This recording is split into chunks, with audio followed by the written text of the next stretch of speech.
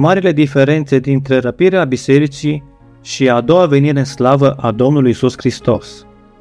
1.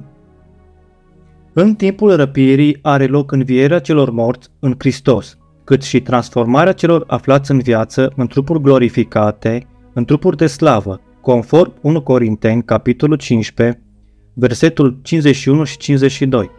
1 Tesaloniceni, capitolul 4, versetul 16 și 17.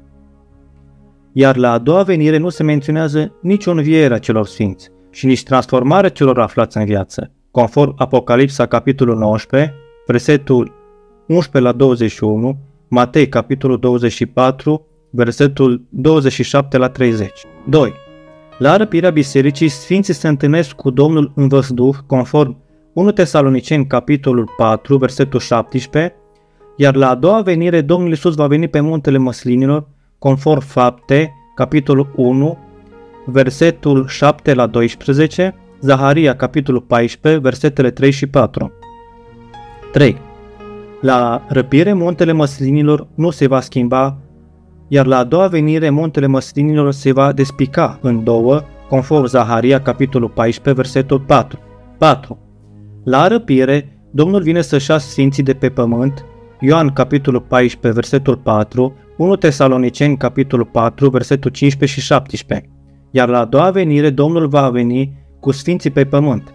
Zaharia, capitolul 14, versetul 5, Iuda, capitolul 1, versetul 14, Apocalipsa, capitolul 19, versetul 14. 5. La răpire, sfinții sunt schimbați cei aflați în viață în trupuri de slavă. 1 Corinteni, capitolul 15, versetul 51-52, 1 Tesaloniceni, capitolul 4, versetul 15 și 16, iar la a doua venire sfinții rămân pe pământ, conform Zaharia, capitolul 14, versetul 5, Isaia, capitolul 66, versetele 19 la 22, Matei, capitolul 24, versetul 31. 6. În timpul răpirii lumea nu este judecată. La a doua venire lumea va fi judecată, conform Matei, capitolul 25, versetul 31 la 46. Și 7. La răpire satana nu va fi legat. La a doua venire satana va fi legat. Apocalipsa, capitolul 20, versetul 1 și 3.